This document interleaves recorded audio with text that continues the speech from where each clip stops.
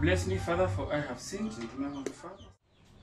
It's been seven months since my last confession, and these are my sins.